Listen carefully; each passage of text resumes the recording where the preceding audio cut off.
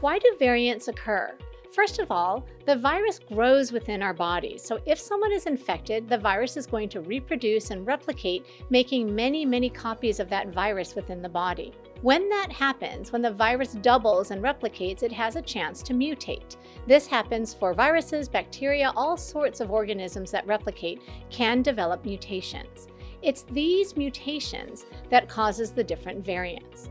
Fortunately for us, with the technology we have in today's science, molecular testing can allow us to see these different viruses so that we can see that the virus from two months ago may not be the dominant circulating virus today.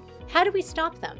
There are two ways to stop variants. You have to stop the cases. If you stop a large number of cases, then it cannot replicate and it cannot generate variants. There's only two ways to do that. The first one is through infection prevention to make sure that we're all wearing masks that actually cover our nose and our mouth, that are pretty snug fitting to our face, to make sure that we clean our hands when we touch things that other people have touched, and to make sure that we stay six feet or two meters away from other people, even when they are masked. And finally, what we really hope is that it's the vaccine that's going to stop this pandemic, that will stop the cases, stop the spread, and keep us all safe.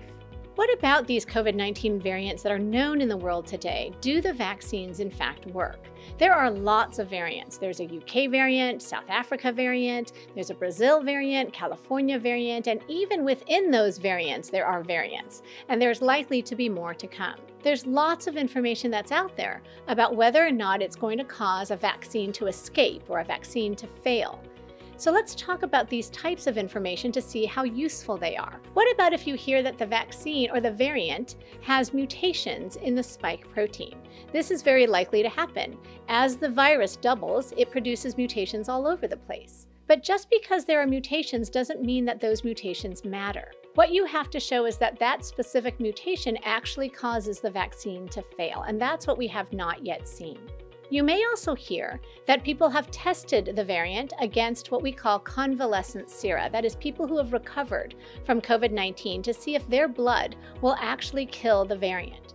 What we know is that people who have recovered from COVID 19 unfortunately do not have great protection, so this type of information is not very helpful.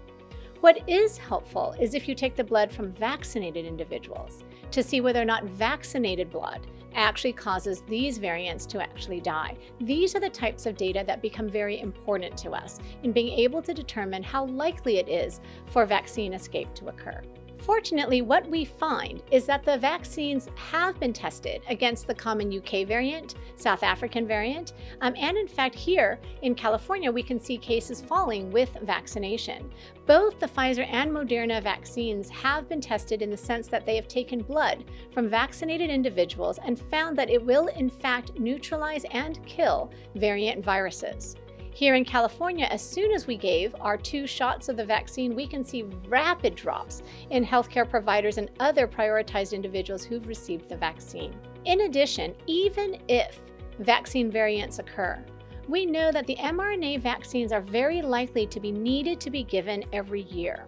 This is likely because we, again, as humans, do not build durable immunity that lasts for years.